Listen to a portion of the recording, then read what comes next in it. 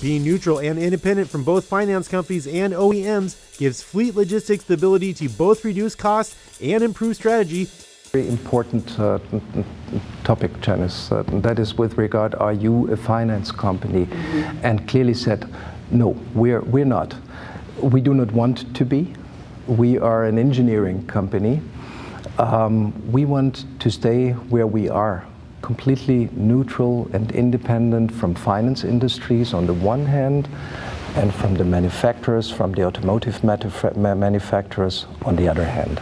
That is important for us. That is very, very important for us. And then coming from, from this perspective, we are free to have a look on the cost side of a fleet on the cost side, but also not, not only on the cost side, also on the strategic requirements uh, uh, of, a, of a customer uh, uh with regard to his entire uh, uh, global fleet. It might be a customer focusing on, on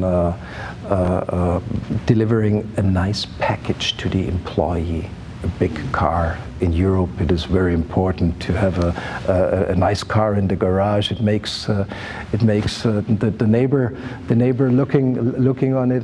It might be less important for, for an American, but but entirely entirely you've got a bunch of motivations, strategic motivations of the customer where we need to react on.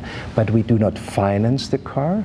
We do cooperate with the financial services uh, companies and try to give a, a uh, to, to, to understand the strategy, to develop the strategy, to support him there in, in, in developing the strategy, to execute the strategy then, and that should lead then with the help of very valid data to create transparency about uh, the fleet. And if we've got the fleet, if, if we have got the transparency about the fleet, then we are going to, to achieve the effects which the customer expects from our side.